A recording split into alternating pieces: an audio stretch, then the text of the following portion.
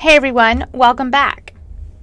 Today I want to show you a cool new feature that allows you to set expiration dates for access to Google Drive, Docs, Sheets, Slides, and more.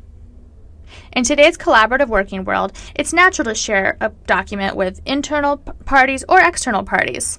And when it comes to sensitive data, you sometimes might need to limit the access to that data.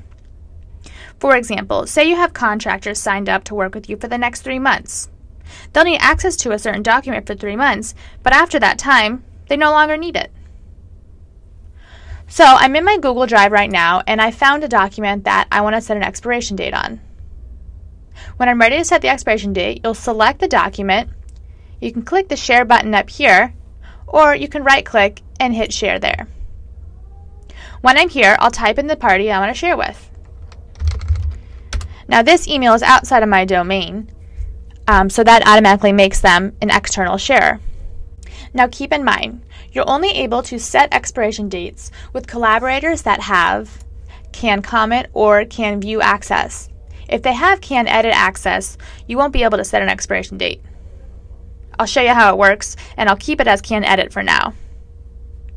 We'll click send for now and hit yes. I'm sure I want to share this with outside of my domain. Now when I go back to the sharing option here, I see that I've shared it with this user. And now I also see I have the option when I hover over this name, this stopwatch appears, which is how you set an expiration date. Now you can see I still have the Can Edit access, but once I click this button, it'll go away. And now you can see it's changed to Can Comment automatically. Here I have the option to set it for 7 days, 30 days, or a custom date. Let's say 31 days.